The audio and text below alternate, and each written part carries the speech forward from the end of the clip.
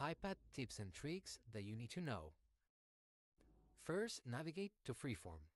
Freeform is a whiteboarding app designed for creative brainstorming and collaboration. Here is an example of how it might look like. Freeform provides a boundless canvas where users can add various types of content like text, photos, videos, documents, PDFs, and web links. If you navigate to the top, you will find your toolbar.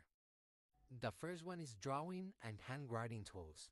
With this tool, you can sketch or handwrite on the boards using the included drawing tools similar to the ones in the Notes app.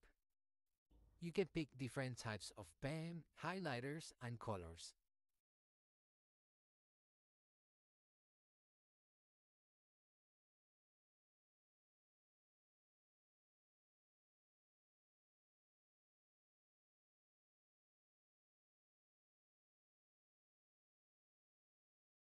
If you want to erase something, you can use that undo function or you can also erase it.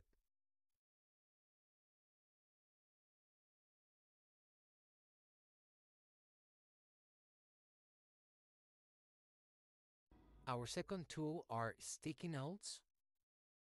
You can place them anywhere you want. You can also put some text on top of it.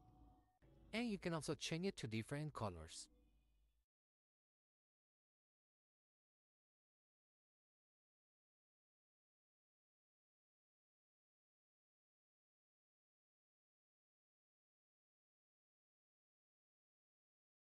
Our third tool are stickers. There's a lot of objects that you can pick.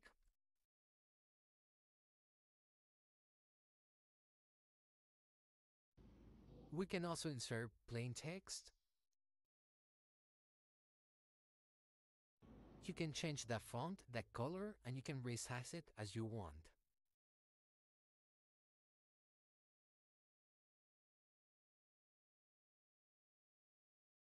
Finally, we have our media tool.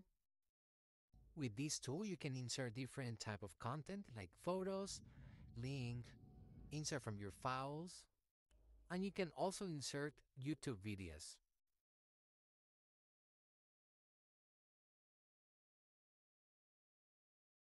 Finally, don't forget to share with your teammates.